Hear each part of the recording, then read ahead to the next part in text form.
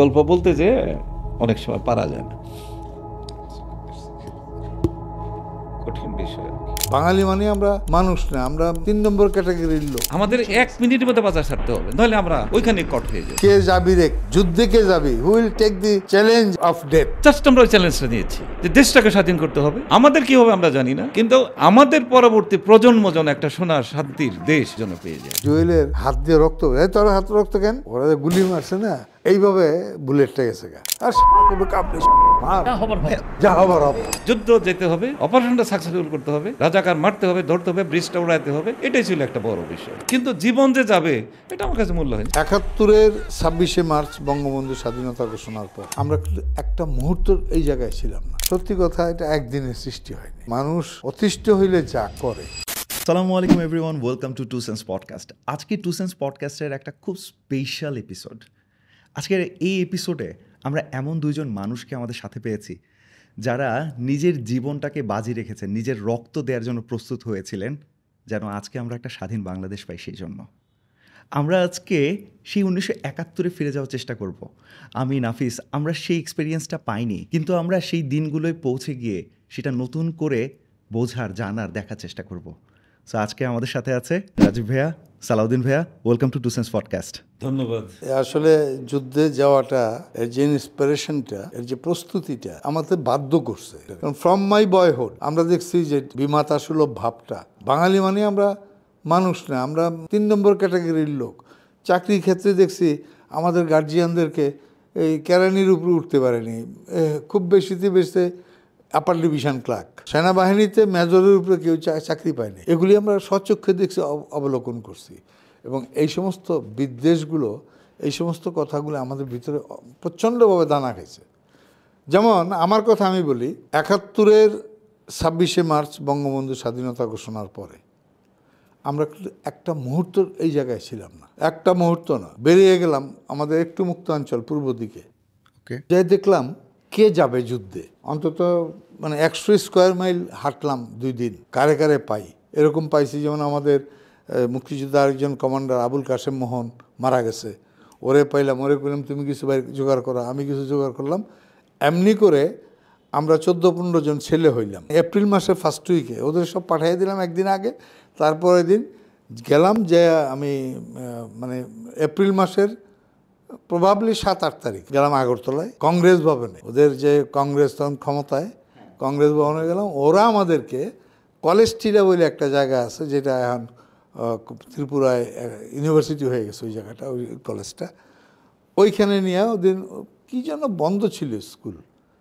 মানে কলেজ বন্ধ ছিল, আমাদেরকে ওদের কলেজ হোস্টেলে থাকতে দিল। তো পরের দিন আমাদের আব্দুল আজিজ বিপ্রতীক ঢাকা কলেজের বিপি ছিল আমার বন্ধু। ও গেলো পাঁচ সাতজন এরকম করে এক সপ্তাহের মধ্যে আমার কেন মনে আছে একটা জিনিস তেরোই এপ্রিল পর্যন্ত দেখা গেল আমার প্রায় সত্তর জন ছেলে পেলে হয়ে গেল আমাদের মতো। ভাইয়া আপনি তো মিলিটারি ব্যাকগ্রাউন্ডের না রাইট না না না। সাধারণ মানুষ। আমি সাধারণ মানুষ আমি পরীক্ষা দেব ডিগ্রি পরীক্ষা দেব। ঢাকা ছাত্র। আচ্ছা তখন আপনার বয়স কত ছিল? একুশ বা এরকম প্লাস এরকম। একুশ বছর। সো একুশ বছর বয়স তখন আপনি চিন্তা করলেন যে আমি এখন যুদ্ধে নেমে যাব। মানে ইউ ডিসাইডেড যে আপনি ফাইট করবেন। No other choice no alternative choice because আমরা তো আমার জন্ম থেকে দেখছি। আমি যখন ক্লাস মানে ওয়ানে পড়ি না সরাসরায় পড়ি, তখন আমার মধ্যে সেই চেতনা জাগছে। সাতচল্লিশে যখন এই দেশ ভাগ হয়, ভারতবর্ষ ভাঙে, তখন যেইভাবে ভাঙছে মানে মুসলিম জনগোষ্ঠী জন্য আলাদা রাষ্ট্র। এটা তো এই দেশের মুসলমানরা খুশি হয়েছে। কিন্তু আমাদের জন্য যে বিশ্ববার্তাটা আসলো সেটা হলো one state one language Urdu shall be state language of Pakistan পূর্ব পাকিস্তানে এসে যখন জিন্না পার্লামেন্ট করল, কার্জন হলে পার্লামেন্ট সেইখানে এই কথা বলছে প্রথমে। এবং পরবর্তীকালে তো এটা আন্দোলন শুরু হয়ে যায়, ভাষা আন্দোলন। এই ভাষা আন্দোলনে বঙ্গবন্ধুও ছিলেন, তখন বঙ্গবন্ধু ঢাকা ইউনিভার্সিটির ছাত্র। তো এই যে চুয়ান্নর মানে নির্বাচন যুক্ত ফ্রন্টের নির্বাচনটা এইটা মূলত বঙ্গবন্ধুই ফোরকাস্ট হয়েছে বেশি তখনও। যদিও ইয়াং লিডার কিন্তু তিনিই ফোরকাস্ট হয়েছেন বেশি। ওইখানে তার পিছনে ছিল আমাদের আব্দুল হালিম হামিদ খান বাসানি হোসেন শহীদ সরওয়ার্দি আমাদের টাঙ্গাইলের সাহেব। এনারা সবই ছিল কিন্তু বঙ্গবন্ধু ছিল তেজি নেতা। যে ওইখান থেকে শুরু করে একাত্তর পর্যন্ত কন্টিনিউ করছে। এই দেশের সাধারণ হিস্ট্রির মধ্যে বিভিন্ন পরিক্রমা, বিভিন্ন ধাপ, বিভিন্ন যুদ্ধ, বিভিন্ন আঘাত, বিভিন্ন সংঘাতের মধ্যে দিয়া একাত্তরটা আসছে এবং এই যে আমাদের প্রশ্নটা করা হলো যে আমরা এটা কি মানে আমাদের সমস্ত দেহের মানে পায়ের থেকে মস- মস্তক পর্যন্ত সমস্ত শিরায় শিরায় আমরা উপলব্ধি করতে পারছি। এক নম্বর আমাদের মনেও বলছে এটা বাবা কি বলে মা কি বলে দেশ কি বলে। তারপরে আমাদের পার্থক্য দেখতাম খেলতে গেছি ওইখানেও দেখছি ওদের একটা অধিকার ওদের একটা প্রায়োরিটি ওদের বেশি আমাদের কম। আমাদের দেশে সোনালী আঁশ সারা বিশ্বে এই দেশ থেকে পাট গেছে বৈদেশিক মুদ্রাটা ওরা নিয়ে গেছে। আমাদের চন্দ্রগোনায় আমাদের পেপার মিল কাগজ তৈরি কাগজ তৈরি হয়েছে। আমরা তখন চাইরানা দিস্তা কাগজ কিনছি ওরা কিনছে দুই আনা আমাদের কাগজ তারা নিয়ে গেছে আমাদের এখান থেকে ওরা আমাদের চেয়ে অর্ধেকে পাইতো আমরা ডাবল আমরা পাইছি বারো আনা দিস্তা এখানে কিন্তু পাকিস্তানে সেটা ছিল ছয় আনা ছয় আনা আমরা কিনছি ছয় আনা ওরা কিন্তু অথবা অথচ আমরা ম্যানুফ্যাকচার করি। চার আনা চার আনা। আমরা ম্যানুফ্যাকচার করি। ম্যানুফ্যাকচার ম্যানুফ্যাকচার করি এখানে। এই যে আমাদের পার্বত্য অঞ্চলে সে প্রচুর বাস হইতো। বাসের থেকেই তো ই হয়। যাক এরকম সব জায়গায় প্রতিটা ক্ষেত্রে সেনাবাহিনীতে লোক গেছে। আমাদের মেজরের উপর কেউ প্রমোশন পায়নি। আমাদের সিভিলিয়াতে চাকরি করছে। দেখা গেছে যে ইউডিসি মানে আপার ডিভিশন ক্লার্ক ছাড়া আমরা কোনো পদ পাইতাম না। ম্যাক্সিমাম এটা। আর সব জায়গায় ওরা সব মানে অফিসার তো এইভাবে তো আমাদেরকে তো একেবারে ওরাও আমাদেরকে বিষয়ে তুলছে। এই বিষয়ে তুলছে বলেই আমরা সময় নিতে পারিনি। আমরা সময় নিতে পারিনি। বঙ্গবন্ধু ডাক দিয়েছে, কারণ সাতই মার্চে মনে করছিলাম যে আজকেই আমরা যা করা করে ফেলাম। কিন্তু রাজনৈতিক কারণে প্রেক্ষাপটে এটা মানে ছাব্বিশে মাস পর্যন্ত গেছে। আমরা কিন্তু এর আগেই প্রস্তুত ছিলাম। বঙ্গবন্ধু বলছেই যার যা কিছু আছে তাই নিয়ে প্রস্তুত থাকো। আমরা প্রস্তুতির মধ্যেই ছিলাম কারণ আমরা তো বাচ্চা না বা মানে অল্প না আমরা তো মোটামুটি ম্যাচিওর আর তখনই ওই যে আরেকটু স্মরণ করে দিই তখনই যে ঢাকা ইউনিভার্সিটি থেকে লেট দেওয়া হতো কিন্তু বিভিন্ন স্কুল কলেজ সেখানে কিন্তু একটা ট্রেনিং মানে শুরু হয়ে গেছে ট্রেনিং শুরু হয়ে গেছে। মানে যে মানে অস্ত্র ছাড়া যে ট্রেনিং হ্যাঁ। হ্যাঁ তখন তার ট্রেনিং যেটা training PT parade PT parade যেটা বলা ফিজিক্যাল এক্সারসাইজ ফিজিক্যাল এক্সারসাইজ মানে মেন্টাল প্রিপারেশন তৈরি হয়ে গেছিল এবং প্রত্যেক স্কুল কলেজ এটা আমরা করতাম। পাড়া মহল্লায় প্রত্যেক ঢাকা ইউনিভার্সিটির মেয়েরা পর্যন্ত তারা ট্রেনিং শুরু করে দিয়েছিল। ওই যে ক্রীড়া হ্যাঁ। মাঠ যেটা। এইখানে তো করছেই। ইভেন দেন ও যে বলল প্রত্যেকটা গ্রামে গ্রামে। বিভিন্ন জায়গায় বিভিন্ন স্কুলে বিভিন্ন প্রতিষ্ঠান প্রতিষ্ঠানে। ধনুক বানাইয়া। তারপরে ওই যে যেটা একটা গুলি দেয়া যে গুলতি, গুলতি। দিয়ে। এই সমস্ত ট্রেনিং শুরু হয়ে গেছিল। শুরু হয়ে গেছিল যে না আমরা ওদের প্রতিহত করব আমরা জাগ্রত হব বঙ্গবন্ধু বলছে যা যেখানে থাকো প্রস্তুত থাকো। তোমাদের যা কিছু আছে whatever you have exactly protect them লাঠি ছোটা তীর যার যে কিছু আছে প্রত্যেকে যে যেখানেই থাকো যে অবস্থায় আছো যা কিছু আছে তাই দিয়ে তোমরা শত্রু মোকাবেলা করো। এটা বঙ্গবন্ধুর ভাষণই আছে। তা আমরা ওই গড দি প্রিপারেশন আমাদের প্রস্তুতিটা ওইভাবেই ছিল এবং যখন দেখলাম আমার, আমি পঁচিশে মার্চের রাত্রে আমি আমার বাড়ির জাস্ট পশ্চিম দিকে খাত ছিল। আমার বাবা বলল যে, তুমি ওইদিকে যাও, ওইখানে গিয়ে থাকো রাত্রিবেলা। চতুর্দিক থেকে গোলাগুলি, চতুর্দিক থেকে, এদিক দিয়ে এদিক দিয়ে এরকম। পঁচিশে মানে পঁচিশে মার্চ পরে ছাব্বিশে মার্চে। তো এটা শুরু করছে তো পঁচিশে মার্চ থেকে বিভিন্ন জায়গায়। ছাব্বিশে মার্চ তো মানে আমরা ক্যান্টনমেন্টের আশেপাশে যারা ছিলাম পঁচিশে মার্চ থেকেই শুরু হয়ে গেছে। ছাব্বিশে মার্চ তো ঢাকা শহরে আক্রমণ হ্যান ত্যান যাই কিছু করল। মেসাকার মেসাকার করল তো ছাব্বিশে মার্চ সকালবেলা সাতাইশে মার্চ সকালবেলা এই আমরা স্বাধীনতা ঘোষণা জিয়াউর রহমানের কণ্ঠ পাইলাম যে I major Zia hereby proclaim the independence of Bangladesh on behalf of our great leader Bangabandhu Sheikh. আর থাকে কেটা? মানে আপনাদের শরীর এতদিন ধরে গরম গরম হয়ে গেছে। মানে ওই পাওয়ার পরে পাইলাম সাতাইশে মার্চ বিকাল পর্যন্ত। এরপরে তো বেরিয়ে আসলাম আগে যেটা বললাম আইসায় ঘোরা শুরু করলাম। কে যাবি রে? যুদ্ধে কে যাবি? We'll take the challenge and মানে অফ ডেথ সোজা কথা মৃত্যুর মুখে কে যাবা? আসো। এটাই ছিল মূল কথা, এটা অন্তরের, বাইরে তো আর বলি নাই but it was challenge of death আসলে বিষয়টা কি মুক্তিযুদ্ধটা অ্যাকচুয়ালি ছিল জনযুদ্ধ। এখানে কৃষক, শ্রমিক, ছাত্র জনতার পার্টিসিপেশনই ছিল বেশি। সাধারণ মানুষের, আমরা যদি হিসাব করে দেখেছি পরবর্তীতে বা গবেষণায় যা আসছে, যে শতকরা এইটটি পার্সেন্ট লোকই ছিল সাধারণ মানুষের, কৃষক শ্রমিকের সন্তান বা কৃষক, শ্রমিক। বা তাদের পার্টিসিপেশন ছিল। এরা উদ্বুদ্ধ হয়েছে বেশি এরা জাগ্রত হয়েছে বেশি এরা সূর্য বীজও বেশি ছিল। আমরা সেই সময় যেটা ছিলাম ওই সালাউদ্দিন ভাই খুব সুন্দর করে বলছেন যে বডি বিল শুরু হয়ে গেছিল। আমরা তখন মানে কিশোর থেকে যুবা তে রূপান্তরিত হচ্ছি বা পড়ছে গেছি। তা আমাদের একটা প্রতিযোগিতা ভাব থাকতো যে সবচাইতে কঠিন কাজটা আমরা করব সবচাইতে চ্যালেঞ্জিং কাজটা আমরা করব সবচাইতে দুরূহ কাজটা আমাদের করতেই হবে। বয়স যাই হোক বয়স কোনো ফ্যাক্টর নয়। আমাকে জিততেই হবে আমাকে করতেই হবে। যদি কোনো ক্যাম্পের ইনচার্জ বলতে এই অপারেশনে কারা যাওয়া আমরা সবার আগে দেখা গেলো যে আমার মতো আরও পাঁচজন হাত তুলে পেতে আমরা যাব এই অপারেশন আমরা যেতে চাই। তার মানে আমাদের কাছে জীবনটা খুব মূল্যহীন। জীবনটা মূল্যহীন বাট যুদ্ধ যেতে হবে অপারেশনটা সাকসেসফুল করতে হবে রাজাকার মারতে হবে ধরতে হবে ব্রিজটা উড়াইতে হবে এটাই ছিল একটা বড় বিষয়। কিন্তু জীবন যে যাবে এটা আমার কাছে মূল্যহীন। জীবন এটা না তবে এর মধ্যেই ছিল হ্যাঁ। আর একটা ট্রেনিং ছিল, আমাদের ট্রেনিংয়ের কিন্তু একটা মানে ই ছিল যে হিট অ্যান্ড রান রাজা আমরা সব কিছু করবা, কিন্তু তুমি বেঁচে আসবা। কিন্তু আমাদের যেটা ছিল যে ঘটনার সালন ভাই ঠিকই বলছেন, কিন্তু আমরা যখন যেতাম সত্যিকার অর্থে নিজের জীবন যে বাঁচানোতে হবে এই চেতনাটা ভুলে যেতাম। আমি যেমন ছোট্ট করে একটা ঘটনা বলি তখন মানে আষাঢ়ের পানি আসেনি টাঙ্গাইলে। দুইজন আমার বড় ভাই আসলেন একজন নাম ডাক নাম সুখা ভাই আরেকজন ছিল লালটু ভাই। তারা কিন্তু বয়সে আমার চেতে একটু বড়। হয়তো দু বছরের বড় তিন বছর বড়। আয়সা বলে আমার একটা সাহসী লোক দরকার। আমরা চার বন্ধু ছিলাম। যে সাহসীতে কী করবেন? বলে যে আমরা তো একটা এই নাটিয়াপাড়া ব্রিজ ভাঙতে যাব। তো সাহসী লোক না হবে না। তা আমরা বললাম যে আমরা কি চারজন যাব? বলে না একজন একজন একজন বেশি নেওয়া যাবে না। তো ওনারাদের হাতে দেখলাম যে আমি জিজ্ঞেস করলাম আপনাদের কী আছে?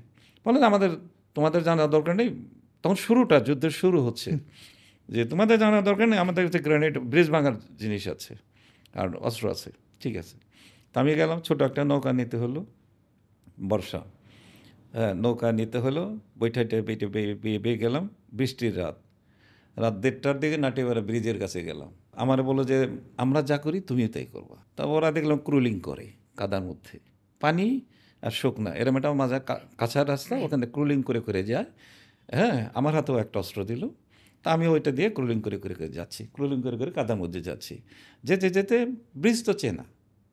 চেনা ব্রিজ সেই ব্রিজের ওখানে রাজাকারা বা ট্রেন্স কাটা আছে ওই ব্রিজের ভিতরে। বৃষ্টির মধ্যে তারা ওই অস্ত্রগুলো ব্রিজ সেই পাহারা দেয় আর কি ব্রিজ পাহারা দেয়। হ্যাঁ। এইভাবে প্রত্যেকটা বড় বড় ব্রিজ ওটা একটা বড় ব্রিজ ছিল। বড় বড় ব্রিজগুলোতে রাজাকারদের একটা ঘর করে দেওয়া হয়েছিল যেখানে ব্রিজে থাকতো নিচে পাহারা দিত। তো বৃষ্টি প্রচণ্ড এই বৃষ্টি প্রচণ্ড বৃষ্টির মধ্যে আমরা ব্রিজের নিচে চলে গেলাম তিনজন। যে তো খুব অন্ধকার তার মধ্যেও কাছাকাছি, তো ওই গ্রেনেড চার্জ করল ব্রিজে, ব্রিজের সাইড থেকেই, একটু সাইড থেকেই গ্রেনেড চার্জ করল তো প্রচণ্ড শব্দে ব্রিজ কেঁপে উঠল। পুরো এলাকা আলোড়িত হয়ে গেল, গ্রেনেডের শব্দ। কিন্তু ব্রিজ ধ্রাম করে উঠল, কেঁপে গেল, কিন্তু ব্রিজের কিছু হয়নি। হওয়ার কথাও না।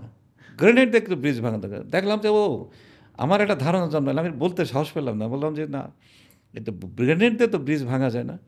ঠিক রাজাকারা তখন প্রচণ্ড গুলি বৃষ্টি তো গুলি তারা ওই ট্রেনসের ভিতরে থেকে ওই প্রচণ্ডভাবে ফায়ার করতেছে, কিন্তু উপরের দিক, আমরা তো নিচে নিচে সাইডে তার ফলে আমাদের কোনো সমস্যা নেই, প্রচণ্ড গোলাগুলি, গুলি হচ্ছে। তারপরে কিছুক্ষণ নীরব থেকে আবারও ওই সুখা ভাই আরেকটা গ্রেনেড চার্জ করল চার্জ করে তারপরে একই শব্দ একইভাবে হলো, প্রকম্পিত হলো এলাকা। হ্যাঁ গভীর রাতে বৃষ্টি প্রকম্পিত হয়ে গেল, কিন্তু ব্রিজ কিছু হল, ব্রিজ কেঁপে গেল। তখন কথা তো আর বলা যায়নি, আমাকে ইশারা দিল, হাত দিয়ে এসে চল মানে চলে যাবে। তো চলে যায় আমরা আবার কুলিং করে প্রায় এক হাজার গজ হবে বোধহয়, নৌকাটা দূরে ছিল।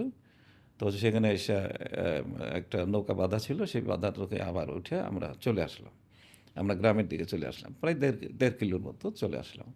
তো আমি জিজ্ঞেস করলাম যে তখন আমি জিজ্ঞেস করলাম যে আপনি কি জানেন না যে এই গ্রেনেড দ্য ব্রিজ ভাঙা যায় না ভাই? এটা জানেন না?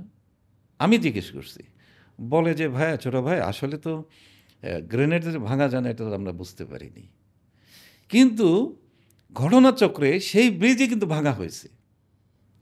পরবর্তীতে সেই ব্রিজই ভাঙছি এবং সেটা আমার এখানে অগ্রণী ভূমিকা ছিল। একটু বলেন না হ্যাঁ সেটা একটা মানে মারাত্মক ঘটনা যে সেটা মানে কিছুটা আনন্দ পাওয়া যাবে ঘটনায় যে তখন ছিল সেদিন একবার আমরা কাছাকাছি কোথাও অবস্থান করছিলাম। আমাদের নির্দেশ ছিল ওই ঈদের দিন ছিল। আচ্ছা। এই রোজার মধ্যে সরি এই মুক্তিযুদ্ধের সময় একটা ঈদ পেয়ে গেছিলাম আর কি। আচ্ছা। ঈদের দিন পাক বাহিনীদের মুভমেন্ট কম থাকবে। এরকম একটা নির্দেশ পাওয়া গেছিল গোপনে। ওকে ওনারা এটা পাইছিলেন। তারপরে আমাদেরকে নির্দেশ দিল যে গোড়াই যে ক্যাডেট কলেজ যেটাকে বলে মির্জাপুর ক্যাডেট কলেজ থেকে শুরু করে টাঙ্গাইলের কালীহাতি পর্যন্ত এই ব্রিজগুলো ভেঙে দিতে হবে। হুম। তো উনত্রিশটা ব্রিজ পড়ছিল বড় বড় উনত্রিশটা ব্রিজই কিন্তু ভাঙা হয়েছিল। আমাদেরকে ডিনামাইট দেওয়া হলো। হুম। ডিনামাইটটা দেখতে অ্যাকচুয়ালি তো যদি আমাদের ছোট বন্ধুদের তো বলি যে ডিনামাইট ডিনামাইট মানে কিছু মাইকে ব্যাটারির মতো হ্যাঁ বড়। বড় বেশি ওজন হ্যাঁ ডিনামাইটের মতো দেয়া দেয়া গেল চারটা। আমাদের বলল যে এইখান থেকে তোমরা রিসিভ করো। রিসিভ করে নিয়ে গেলাম। নিয়ে যেয়ে কিন্তু আমরা সবাই শঙ্কিত যে আমাদের অ্যাকচুয়ালি যেটা মজার করে বলতেছিলাম যে ডিনামাইট যে চার্জ করার যে বিষয়টা সেইভাবে আমাদেরকে রপ্ত করানো হয়নি। বা সেইভাবে ট্রেন আপ করা হয়নি। অনেক জায়গায় ট্রেনের পার্থক্য ছিল। বেসিক কিছু ট্রেনিং দিয়ে ছেড়ে দেওয়া হতো। আর লোকাল ট্রেনিং তো কোথাও কোথাও একটু দুর্বল হতো। কিন্তু সাহসের সাথে বুদ্ধিমত্তার সাথে সেটা পেরিয়ে আসতে হতো। তা আমরা করলাম কি? ব্রিজের চারপাশে চার কর্নারে চারটা ডিনাইট সেট করলাম। হুম। সেট করলাম বেশ প্রায় দু তিন দুই ঘণ্টার পরিশ্রমে সেগুলো করলাম। ডিনামেট সেট করে চারটা ওয়ালে সেট করলাম। সেট করে নিয়ে ডিনামেট থেকে যে এক্সপ্লোজিভ তারগুলো যে নিয়ে আমরা একটা দূরে চলে গেলাম। প্রায় দুইশো গজ দূরে গেলাম। কেউ কেউ বলো যে আরও কাছে থাকি। তা আমি বলব যে এত কাছে থাকি ব্রিজ যদি আমাদের উপরে চলে আসে তাহলে তো একটা বিষয় আছে। তো একটু আমরা তখন মনে হয় ধান কাটা হয়েছিল নাড়া ক্ষেত বলে আর কি। হ্যাঁ। ধানের যে শেষের অংশ নাড়া ক্ষেত। আমরা নাড়া খেতে বসে চারটা তার একত্র করলাম একত্র করে চারটা তার একত্র করে ম্যাচ সাথে নিয়ে গেছি। তা ম্যাচটা কে জ্বালাবে? তা মুস্তাফিজ আবার আমার মামা বলতো মুস্তাফিজ মামা মামা আপনি এটা এটা চালান তা আমি ম্যাচটা জ্বালিয়ে মানে আগুনটা জ্বালালাম আর কি। মানে তারের মধ্যে সংযোগটা করলাম। আর ওটা পুরে পুরে যাচ্ছে। তা আমরা ভাবতেছি সত্যিকারে যে ঘটনাটা আমরা ভাবছি ডিনামাইটের কি এত ক্ষমতা? এই এত বড় ব্রিজ কি করবে? মানে এটা আমাদের মানে অ্যাকচুয়ালি মানে সালাউদ্দিন ভাই হয়তো ওয়েল পার্সন সে হয়তো বেশি বলতে বুঝতে পারবে। কিন্তু আমাদের ধারণা যে এই ডিনামাইটের কি ক্ষমতা আছে এই ব্রিজ উড়াইতে পারে। কিন্তু পুরে পুরে যাচ্ছে। আমরা কিন্তু নাড়া খেতে ঘাপটি মেরে চুপচাপ করে বসে আছি মাথা নিচে করে। কিন্তু তখন হয়তো দিন, বাজে, তখন সাড়ে বারোটা এরকম হবে বা একটা হতে পারে। কিন্তু আশেপাশে গ্রাম থেকে মানুষ দেখছে। কিন্তু কোনো গাড়ি করে নেই, কোনো লোক নেই। কিন্তু সমস্ত গ্রাম আশেপাশে পালিয়ে পালিয়ে লুকিয়ে লুকিয়ে বাড়ির থেকে দেখছে। একদিকে ইসলামপুর গ্রাম, আরেকদিকে নাটিয়াপাড়া আরেকদিকে বর্ণি, এই সমস্ত গ্রাম থেকে দেখছে। কিন্তু একটু দূরে তারা। বাড়ি থেকে লুকিয়ে, প্রকাশ্যে নাই কেউ। কিন্তু আমরা যে দেখতে যে চার পাঁচজন ছেলে অপারেশন করছে, এটা দেখতেছে। হ্যাঁ মানে something is going to be happened কিন্তু কী হচ্ছে এটা তারা বুঝতেছে না। মানে যখন কাছে গেল পড়তে পড়তে যখন এমনভাবে বিকট শব্দে বাস্ট হলো চারটা ডিনামাইট একসাথে বাস্ট হয়ে এই ব্রিজটা বোধ হয় আমার মনে হয় দুশো গজ হবে বা আর একটু বড় হতে পারে। এই ব্রিজটা প্রায় বিশ ফিট উপরে চলে গেল। পুরো এলাকা অন্ধকার হয়ে গেছে ধোলায় আর ডিনামাইটের মানে কি বলা যায়, বিস্ফোরণে আর ধোলায় পুরো এলাকা আকাশটা অন্ধকার হয়ে গেছে, ব্রিজটা দেখলাম যে বিশ ফিটের মতো উপরে চলে গেল, পুরো ব্রিজটা। তারপরে ধপাস করে নিচে পড়ে গেল। পড়ে গেল, আমরা তো উচ্ছ্বাস করছি, আমরা পারলাম একটা কিছু করতে। ডেনামাইটের ট্রেনে যে বললাম তো আগে ঘটনা চাইতে মধ্যে আমাদের একটু স্বল্পতা ছিল। তারপরে সেই আমাদের অভিজ্ঞতা সেটা ভাঙলাম। মানে আমাদেরকে ফুর্তি আশেপাশে গ্রাম থেকে হাততালি দিচ্ছে, আমরা ফুর্তি করছি। মানে তা মানে ওই মুহূর্তে আমাদের মানে সাংঘাতিক উচ্ছ্বাস যে কিছু একটা করতে পারলাম। ওদের মুভমেন্ট তো বন্ধ করতে পারব ওদের প্রতিরোধ কিছু প্রতিরোধের একটা পার্ট তো করতে পারলাম। এই দিকে টাঙ্গালের দিকে আসতে পারবে না। পরে ঠিক আমরা যে ধোলা টোলা কমে গেল মানে ধোঁয়া কমে গেল, ধোলাও একটু নির্বাপিত হলো, আমরা যে ব্রিজের উত্তর পাশে উঠছি, ওই চার ফ্রেন্ডে চার পাঁচজনই হবে হ্যাঁ উঠছি ওপরে উঠে। আমরা খুব বলতে গেলে এক ধরনের একটা দাম্ভিকতার মধ্যে আছি যে বাহ কিছু একটা করতে পারছি। প্রশংসা করে। হঠাৎ করে দেখি সাইকেলে হ্যাঁ আব্দুল কাদের সিদ্দিকি বঙ্গবীর আব্দুল কাদের সিদ্দিকি তার দুজন বডিগার্ড নিয়ে সাইকেল নিয়ে আইসা উপস্থিত হলো। আইসা এই ডিনামাইটকে সেট করছে? আমাদের আনন্দের মধ্যে কিন্তু আমাদের মুখ শুকিয়ে গেছে। বলল যে ডিনামাইটটা যদি অ্যাঙ্গেল করে দিত ব্রিজটা উল্টে যেত। কিন্তু ব্রিজটা সোজা যে সোজা পড়েছে। বলল যে এই যে সোজা হয়ে পড়ল পাক বাহিনী দেখবা যে পরবর্তীতে দুই দিকে স্লোপিং করে দিলেই কিন্তু গাড়ি যেতে পারবে। এটা তখন আমরা মাথায় ঢুকলো বুঝতে পারলাম যে ডিনামাইটটা একটু অ্যাঙ্গেল করে দিলে ব্রিজটা উল্টে যেতে পারতো তাহলে অন্তত ব্রিজ দিয়ে গাড়ি যেতে পারতো না। পরবর্তীতে দেখেছি যে দেশ স্বাধীনের পর দেখেছি অন্তত চার বছর চুয়াত্তর পঁচাত্তর বা তারপর পর্যন্ত ছিল যে ওই ব্রিজের দুই দিকে স্লোপিং করে দিয়েছিল পাক বাহিনীরাই গাড়ি কিন্তু ওই ব্রিজ দিয়ে যেত। আসলে কথা মতো। আসলে আসলে আসলে ব্যাপারটা হয়েছে যুদ্ধটাকে তো আমাদের পরিণতির মধ্যে নিতে হবে পরিণতির দিকে আগায় নিতে হবে। কারণ আমরা যারা একটু বুঝতাম আমরা জানতাম যে বড় বড় যেমন সিদ্ধিরগঞ্জ পাওয়ার হাউস উড়ায়দব তারপরে ইনাবাল কমান্ডোরা বন্দরে বন্দরে গিয়া ওদের শিপ যেগুলি আক্রমণ করার মতো বা গান শিপ যে সেগুলি ছিল এগুলি উড়াই দি- আমরাও প্রথমে এগুলি করতাম। যে নেতৃত্ব ছিল যারা তারা বলছে যে আমরা যারা মানে যারা আমাদের চেয়েও ছোট ওরা তো বুঝতো না। উড়াই দিয়ে একটু ফুর্তি করা যায়। বললাম যেটা সে বলল কিন্তু ফুর্তি করার সময় কই? ওই দিন ঘটনাটা হয়েছে কি আমরা গাড়ি টাড়ি নিয়ে অল্প অল্প করে দুই তিনটা গাড়ি একসাথে যাইতাম। এই ঢাকা শহরে যেখানে পুলিশের ক্যাম্প বা ওদের ই পাইতাম ওইখানে একটা গ্রেনেড ছেড়ে দিলাম। ওই গেলাম এইভাবে তো ঢাকা শহর ছোট। ছোট ছিল। এই মগবাজার আহ, বা গাড়ি কোথাও ফেলে দিয়ে আমরা মগবাজার দিয়ে আবার নৌকায় উঠে বেরিয়ে যেতাম তো ওই ওই দিন আমরা ওই দিক দিয়ে নৌকা দিয়ে ড্যামরার ডিএনডি বাদে গেছি। ওইখানে গিয়া দূর থেকেই দে কখন ফায়ার জামলে তা হোক। এই যে ও যেটা কইলো বেশি উচ্ছ্বসিত হয়ে যায়। আমরাও তাই করছি। আমাদের মতো তখন সবাই কিন্তু আমরা একই লেভেলের কইরা আসছি তো কিন্তু আইসা দেখি এক জায়গায় ওরাও কিন্তু দুই চারটা গুলি ছাড়েনি তা না।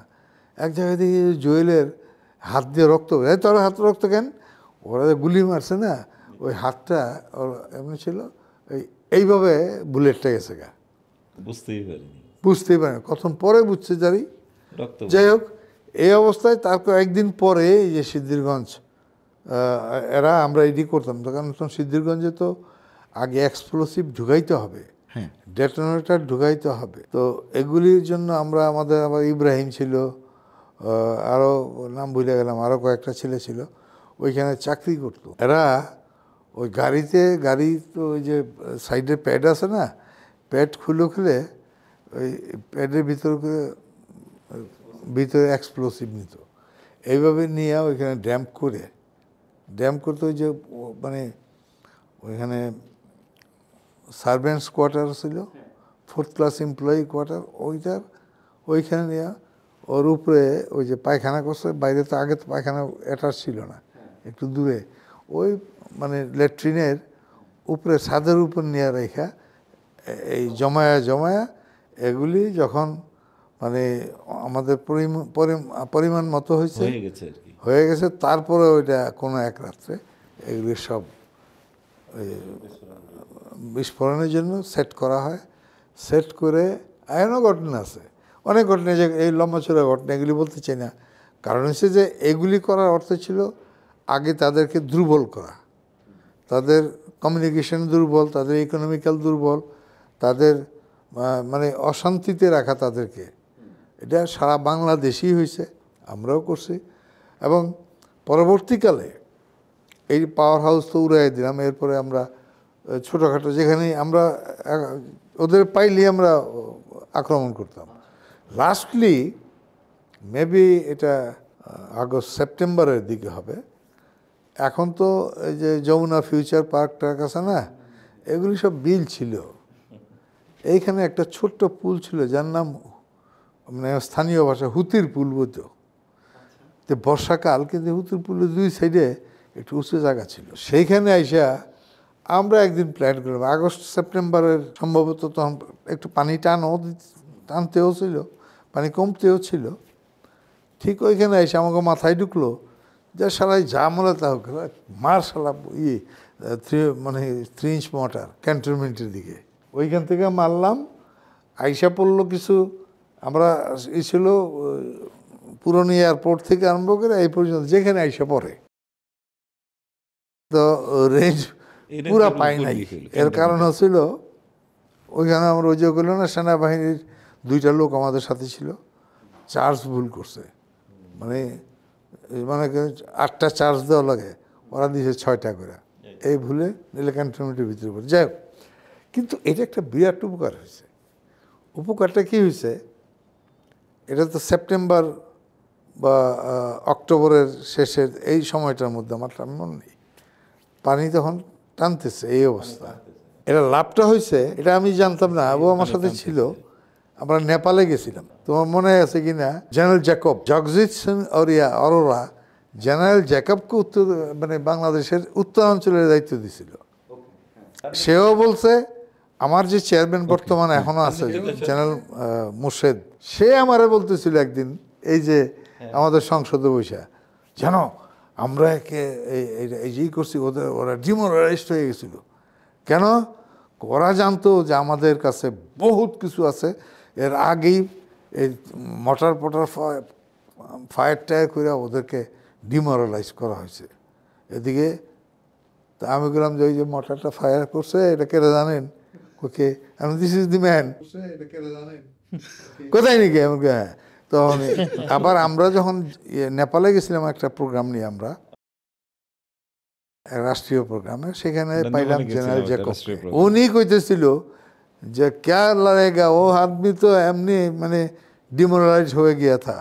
কেন ডিমোরালাইজ কয় যে চতুর্দিকে ফায়ার টায়ার করে বসার।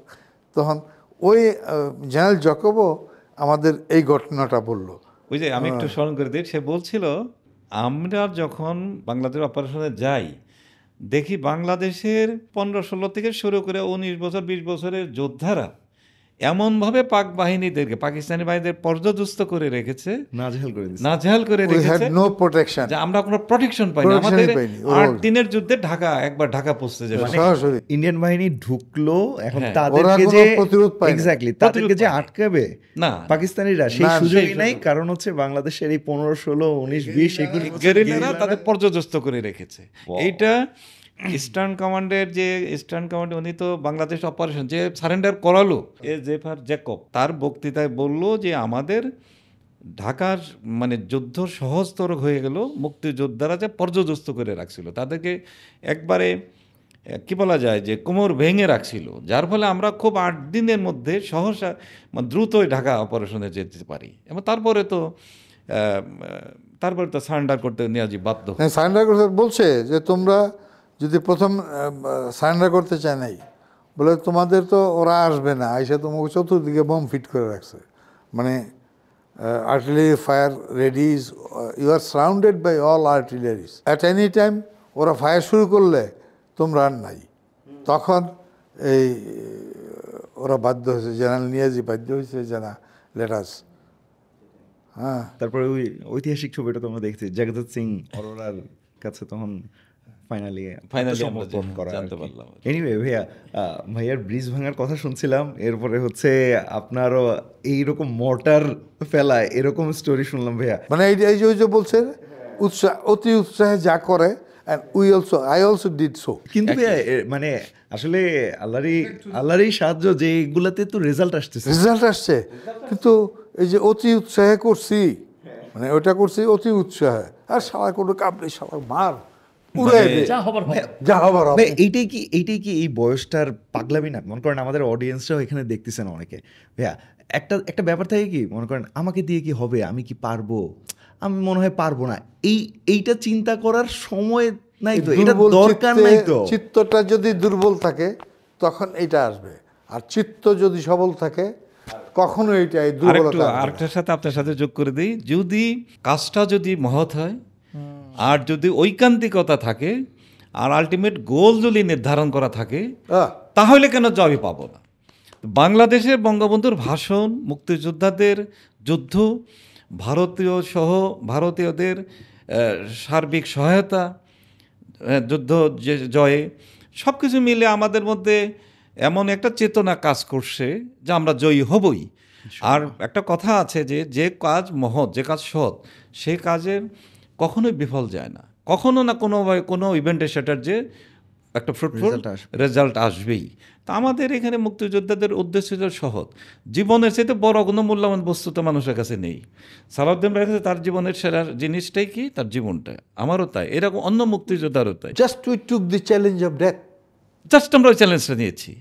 যে দেশটাকে স্বাধীন করতে হবে আমাদের কী হবে আমরা জানি না কিন্তু আমাদের পরবর্তী প্রজন্ম যেন একটা সোনার শান্তির দেশ একটা পতাকা একটা একটা সংগীত একটা জাতীয় ফুল একটা দেশ একটা স্বাধিকার আহ, নিজেদের স্বশাসনের একটা দেশ যেন পেয়ে যায় সেই লক্ষ্যেই কিন্তু এই ডাক সেই লক্ষ্যেই কিন্তু এই প্রেরণ মানে আমাদের কার্যক্রম আপনাদের ভয় কাজ করতো না ভয় অ্যাকচুয়ালি ওই সময় থাকে আসলে না ভয়টা ভয়টা যে how to achieve how to achieve কথাটা ছিল যে আমাকে- একটা কাজে পাঠাইলো। ওই কাজটা কি করে আমি অ্যাচিভ করব এটি আমার ওইটাই তো, ভয় কাজ আপনারা যুদ্ধ করতেছে মানে যুদ্ধ করতেছেন ওরা গুলাগুলি করতেছে রাইট হ্যাঁ। ওই সময় ভয় লাগতেছে না যে আচ্ছা ওই সময় তো উৎসাহে ওই শালারা কেমনি মারবো আগে? আমি আমি মারবো কেমনে? আমি যে মরবো অনেকে লাফায় উঠছে উঠে মারতে গিয়ে নিজে মরে গেছে। নিজে মরে গেছে।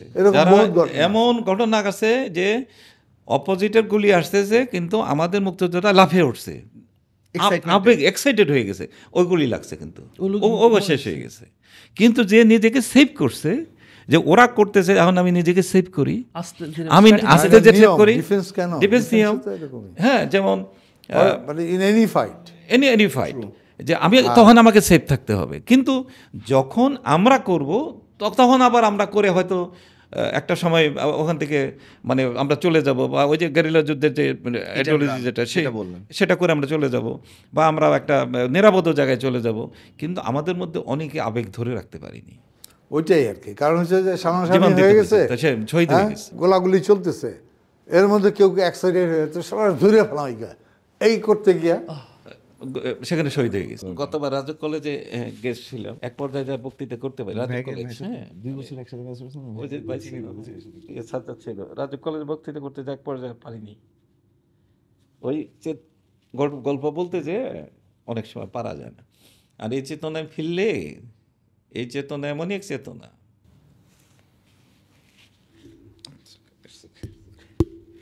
কঠিন বিষয়।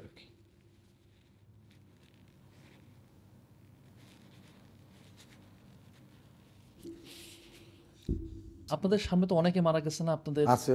আছে। আপনাদের সামনেই। একেবারে। মানে ওই জিনিসটা আপনারা কীভাবে এক্সপিরিয়েন্স করছেন? এমন হয়েছে অ্যাকচুয়ালি ওই যে মারা গেছে ওইটা হয়। Had no feelings I left my friend, left but my friend, my brother, colleague, my brother. colleague, whatever it is. আচ্ছা তুই যুদ্ধের লেগে আইসস মরে গেছে ভালো। এটা সেনাবাহিনী। মুক্তিযোদ্ধারাও একটা রেজিমেন্টেড ফোর্স ছিল না? তা সেনাবাহিনী যে ট্রেনিংটা দেওয়া হয় আমাদের আইডিওলজি কিন্তু সেই একই ট্রেনিংই ছিল।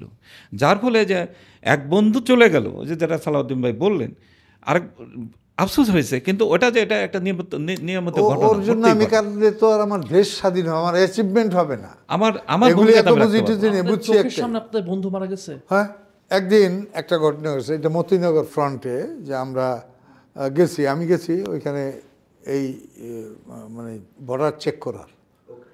আমি অ্যাট দ্যাট টাইম এই ট্রেনিং পিরিয়ডে আমার sector headquarter I was two IC O second in command second in command তো আমাদের আব্দুল আজিজ বীর প্রতীক ছিল ঢাকা কলেজের ভিপি ছিল নাম মনে রাখবে ও ছিল commander among the students and others তো আমি আমাকে পাঠানো হলো যে ওই মতিনগর থেকে হাতিমারা পর্যন্ত এই সাইটটা চেক করার জন্য। যে কোন সাইডটা একটু দুর্বল আছে, কোন দিক দিয়ে আমাদের আপান পাস করা যাবে। তো আমি প্রথমে গেলাম মতিনগর।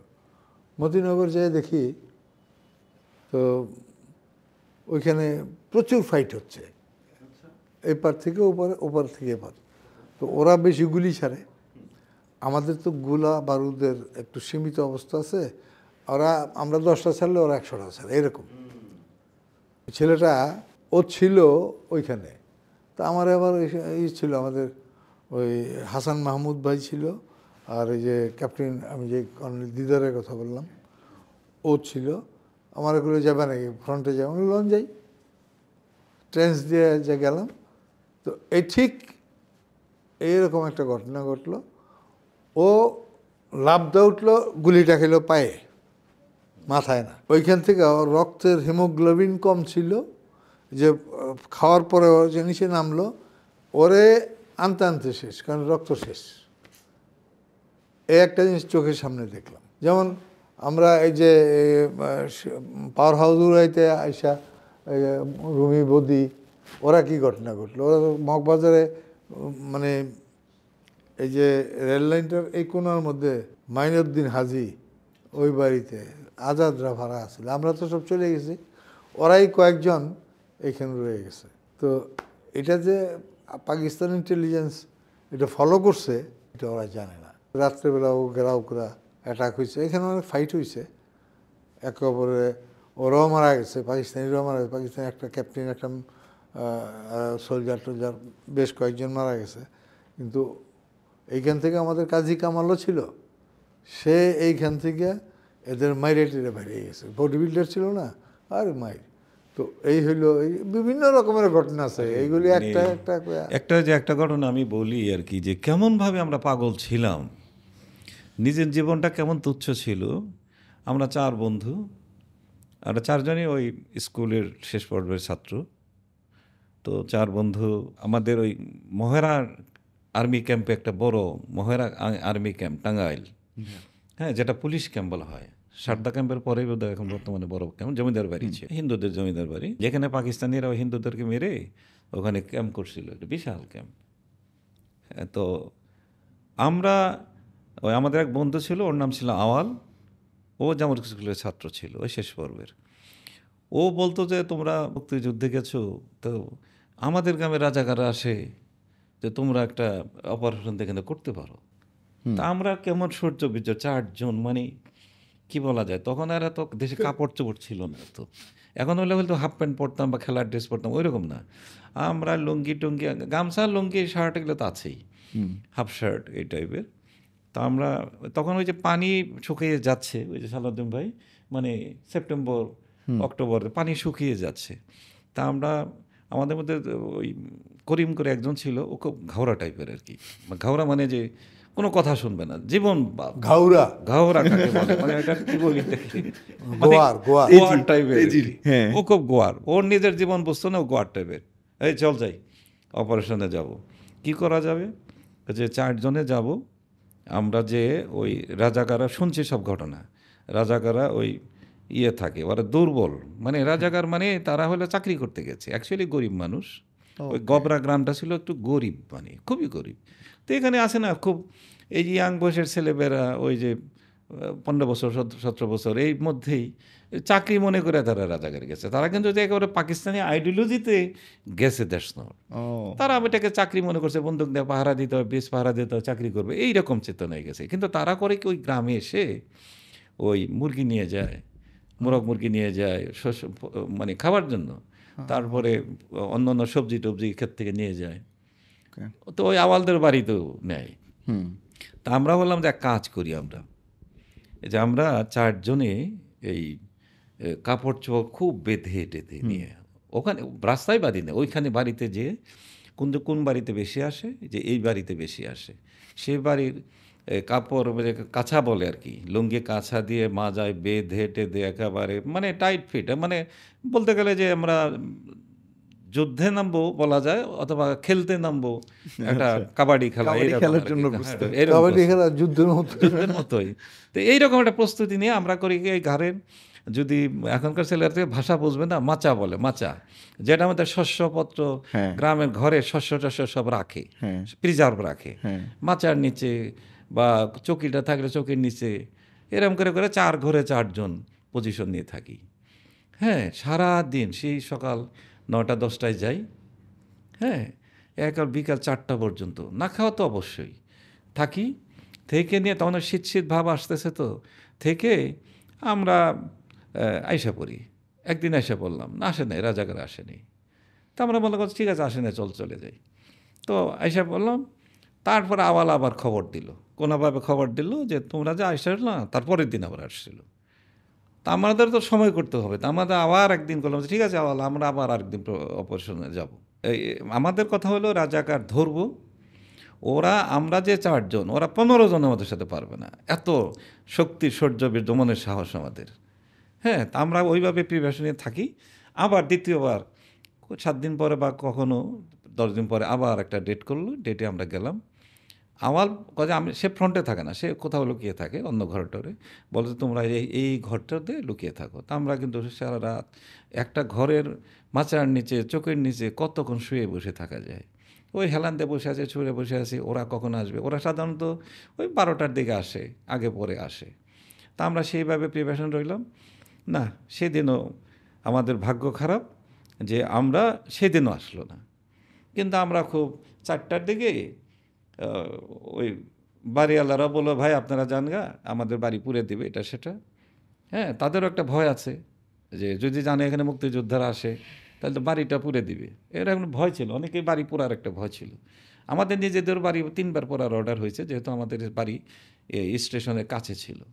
কিন্তু কোনোভাবে বেঁচে গেছে। আমরা একদিন চারটার পাঁচটা, চারটা সাড়ে চারটা দিয়ে বের হলাম। বের হয়ে বললাম যে, না, আজকে ক্ষুধার্ত, কী করি? ওখানে একটা ছাওয়ালি বাজার আছে। হিন্দুদের বাজার।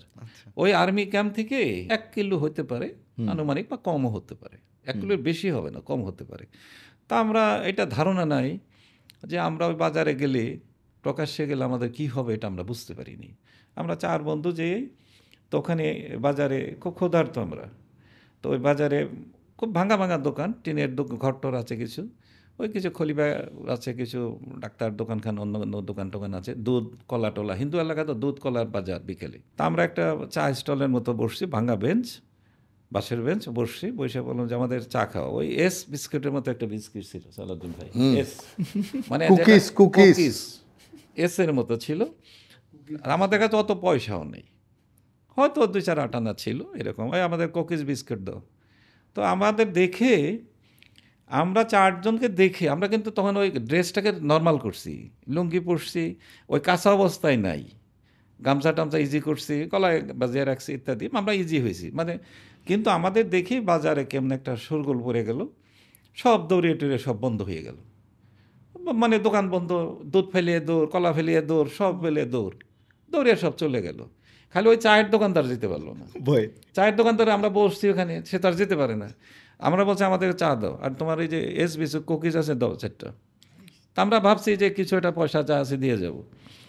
তো আমরা উনি কোকেজ দিছে। কোকেজ আমরা হাত দিয়ে নিয়েছি টিনের দিকে হাত দিয়ে নিয়েছি। সব দোকান বন্ধ হয়ে গেল মানুষ সব চলে গেল। আমাদের মধ্যে কিন্তু তখন ওই যে অহংকারটা একটু কাজ করছে যে বাহ করিম রে বলে করিম দেখছ আমরা আসলাম বাজার। হয়ে গেল। বাহ কেমন একটা ভাব। মানে মুক্তিযোদ্ধা বাজার আছে নিউজটা হয়ে তো চলে গেল। এই নিউজ যে পাকিস্তানি ক্যাম্পে চলে গেছে এইটা তো আমাদের ব্রেনে নাই। এই নিউজ যে মহারা ক্যাম্পে ক্যাম্প তো কাছে। মহারা ক্যাম্পে দিয়ে দিছে আমরা এটা জানি না। কেউ না কেউ নিউজ দিছে। তা আমরা বসে কলা বিস্কিট ওই এস বিস্কিটটা কলা বিস্কিট বলা হতো এস কোকিসটা আমরা খাওয়ার ই করছি চা দেয়নি তখনও চা দিবে। তখন ওই পাশের একটা দোকান থেকে ওর দোকানের ওটাকে ফ্রন্টের যে এটার কি বলে যেটা ঢাকের দোকান। কি বলে? শাটার।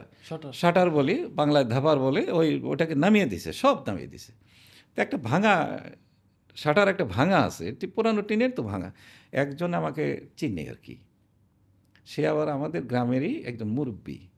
আমার ফাদারকে খুব ভালো জানে।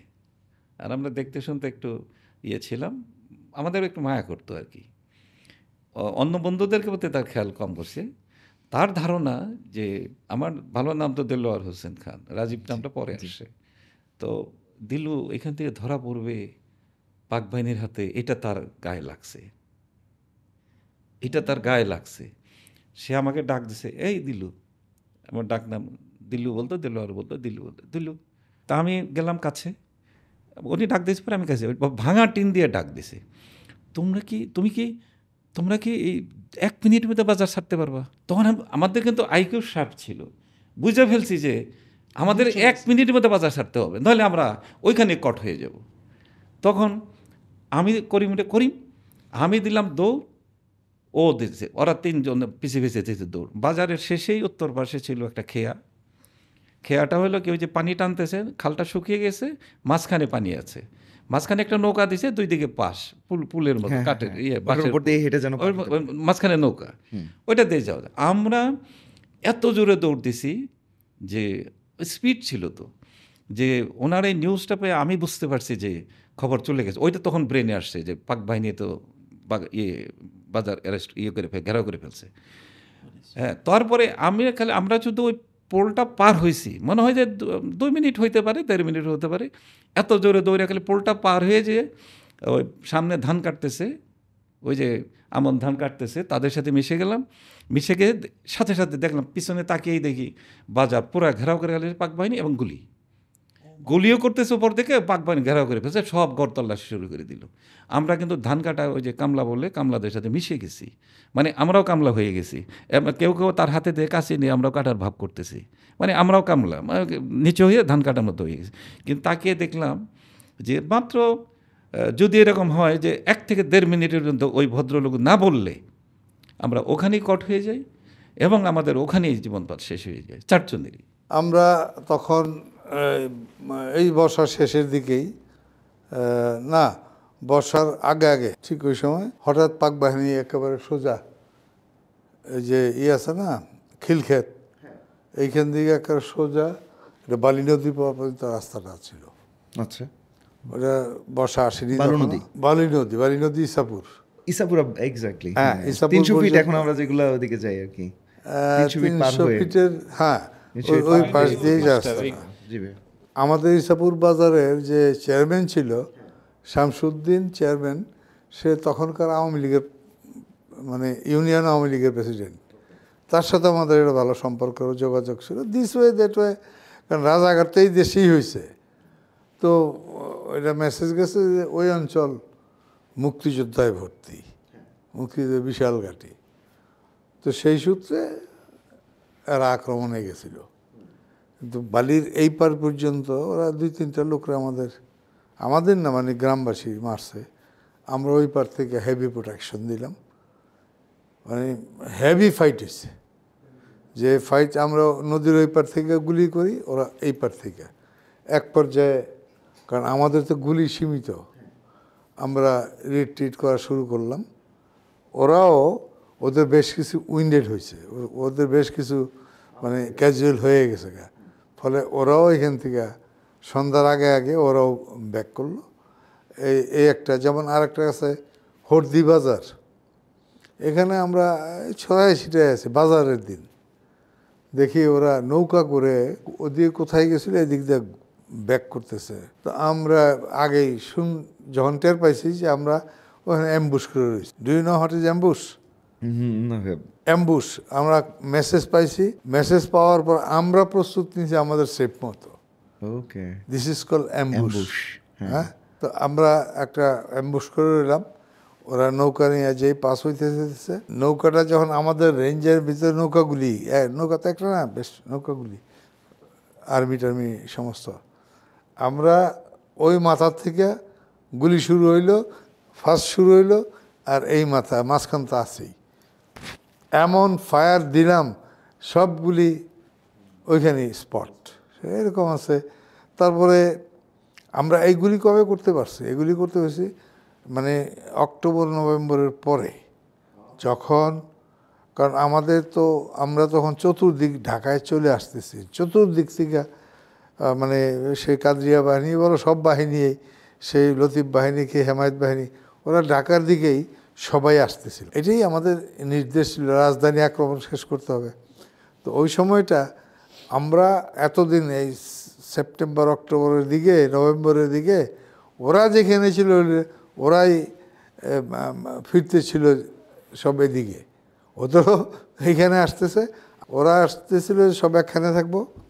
কারণ যুদ্ধে যে ওরাদের ওদের পরাজয় হবে এইটা ওরা উপলব্ধি করতে পারছে। কারণ ওদের প্রচুর ক্যাজুয়াল হয়েছে আমাদের তো হিসাব ছিল হিট অ্যান্ড রান হিট করো মার দো এক আদমি কো মার দো তুম ভাগো। হ্যাঁ? তুমি মাইরে থুয়ে যাও গা গেরিলা যুদ্ধ। গেরিলা যুদ্ধ কারণ গেরিলা যুদ্ধ করে করে ওদেরকে আস্তে আস্তে আস্তে আস্তে শেষ করে দাও। এটাই ছিল অবস্থা এবং একটা পর্যায়ে ওরা যখন প্রচুর মোটামুটি বেশ দুর্বল হয়ে গেছে তখন এই আমাদের সেনাবাহিনী বা যৌথ বাহিনী বা মুখ- মিত্র বাহিনী সব মিলে আমরা এই যে পরে যেটা ঢাকা অভিমুখে তো তো জয়নাল জকবের কথা বললাম। এ তো কথা আমরা হাম তো আয়া মাগার নো প্রোটেকশন মাত্র আট দিনে। আট দিনে। হাম আয়া কই আদমি হামকো মানে ওরা বলতেছিল যে আমাদেরকে কেউ তো বাধাই দিল না। দিব থেকে মুক্তিযুদ্ধের আগে ওদের ফিনিশ করেছে। যাই হোক তো থ্যাঙ্কস টু দেম যে ওরা আসছে বলে ওরা সারেন্ডারটা করছে। এরকম বিভিন্ন জায়গায় বিভিন্ন সময় যেগুলি ঘটছে। এটার মূল জিনিসটা হলো, চেতনাটা হলো, সত্যি কথা এটা একদিনে সৃষ্টি হয়নি। যে মানুষ অতিষ্ঠ হইলে যা করে, ওরা আমাদেরকে আস্তে আস্তে আস্তে আস্তে আস্তে আস্তে এই বিশ মানে তেইশ বৎসরের ইতিহাস বঙ্গবন্ধু বলছে না, বাংলার মানুষের আর্তনাদের ইতিহাস।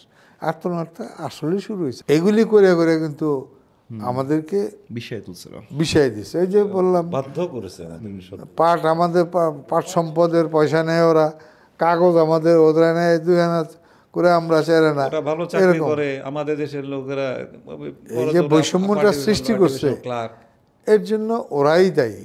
এবং ওরা যেমন আজকেও পাকিস্তানে কিন্তু বৈষম্য আছে। পাকিস্তানি পাঞ্জাবি ভার্সেস আদার্স ওরা তো ওয়েস্ট পাঞ্জাব হইল পাকিস্তানে ইস্ট পাঞ্জাব হইল ভারতে। ওই পাঞ্জাবিরা গিয়া ওইখানে সবার উপর ওরাই খবরদারিটা করে।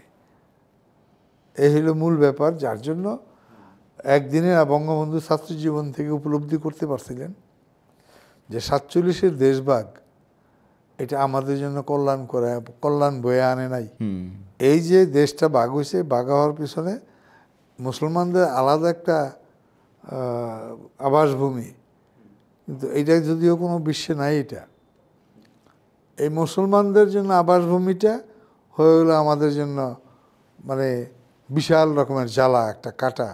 উপলব্ধি করছে শুরু হয়েছে পরিশ্রম কখনো বৃথা যায় না। বঙ্গবন্ধু তার যৌবনের জীবনের যৌবনের বিনিময়ে কিন্তু he had to in jail for fourteen years যৌবনটা আসলে দিয়ে দিছে। ওইখান থেকে এবার এসে সমস্ত জাতিকে একত্রীভূত করছে সমস্ত জাতিকেও জাগৃত করছে এরপরে যুদ্ধের ডাক দিছে। বলে দিছে আর তোমার বলছে যে তোমরা আমার ভাই ব্যারাকে থাকো বাইরে আইও না। বলছে না? তার বক্তৃতার মধ্যে আছে। তার বক্তৃতার মধ্যে আছে। তোমরা আমার ভাই ব্যারাকে থাকো। তোমরা আমাকে আর দাবায় রাখার চেষ্টা করবে না। দাবায় রাখার চেষ্টা করো না আমার ভাইয়ের উপর গুলি চালিও না। আসলে স্বাধীনতা যুদ্ধটা আমাদের একটা অধ্যায় পূর্বেও বলেছি যে বঙ্গবন্ধুর দিক নির্দেশনা এটা অর্জন সম্ভব হয়েছে। আর এটা একটা জনযুদ্ধ ছিল। নির্দেশ বঙ্গবন্ধুর সারা জাতি কিন্তু ঝাঁপ- ঝাঁপিয়ে পড়ছিল। এখানে নারী পুরুষ ছাত্র শ্রমিক জনতা সকলেরই পার্টিসিপেশন আছে। হ্যাঁ যার ফলে এত অল্প দিনে এই একটা দেশ স্বাধীন হতে পেরেছে। আর ওই যে ভারতীয় বাহিনী প্রধান যে বলেছে কথাটা যেটা আমিও বললাম সালাউদ্দিন ভাই বললেন যে মিস্টার জ্যাকব বলেছেন যে আমরা উইদাউট এনি মানে. অবস্ট্রাকল আমরা ঢাকা আট দিনের যুদ্ধে ঢাকা আহ, পৌঁছতে পারলাম। আর দিনের দিন। আট দিন অষ্টম দিনে যে ঢাকা আমরা ভাঙা ছিল দখল করতে দখল করতে পারলাম এবং তাদেরকে আত্মসমর্পণ করতে বাধ্য করলাম।